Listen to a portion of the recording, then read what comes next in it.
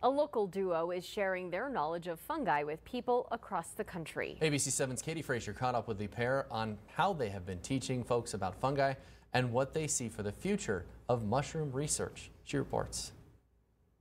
You can cook them, you could drink them, but you could also boost your immune system with them. However, there are many more uses of mushrooms than you may know about. It's really cool seeing firsthand the stigma being broken Hmm. around mushrooms and fungi, and we're definitely seeing that here in our community in El Paso. Maximilian Esparza and Ixeret Hernandez are educating all walks of life that fungi can be very beneficial for a variety of purposes. We just had a mushroom conference in Austin, Texas this past April, and fortunately, it was uh, a very good turnout. The conferences Mycelium Matters has been a part of cover topics from the latest on psilocybin research to mushrooms in food systems and more. We're also starting to work with schools locally here in El Paso, so we're partnering with the um, IB program at El Dorado to give um, like the IB students like workshops on soil cultivation and mushroom cultivation as well. There are functional uses for fungi as well as medicinal. Now, with using fungi as a material and also using it to break down things like petroleum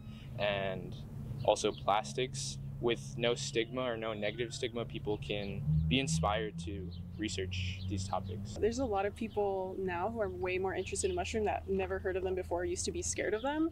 And because of all the research and clinical data coming out showing that functional mushrooms are beneficial for health and even psilocybin mushrooms are beneficial for mental health and for things like PTSD and anxiety and depression, a lot of people are becoming sort of okay with it now. Research is ongoing across the entire country on the many uses of mushrooms. Who knows what the future will bring us?